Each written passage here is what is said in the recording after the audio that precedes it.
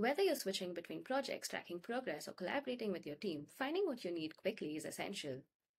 Jira's navigation is designed to be intuitive, flexible, and built to scale with your team's needs.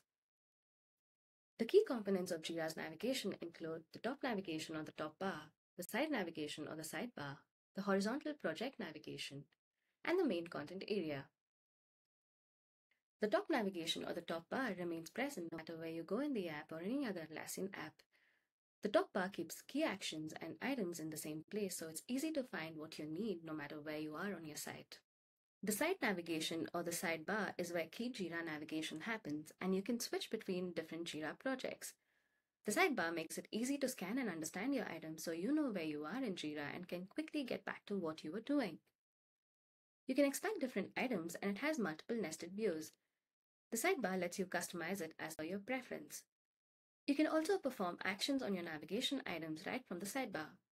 The horizontal project navigation allows you to switch between different views and explore features that pertain to the Jira project you're viewing.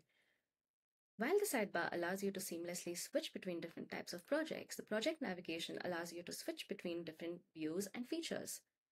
The main content area is your primary workspace, where you'll work with your projects, boards, and work items. It is also where you'll see details and interact with your work.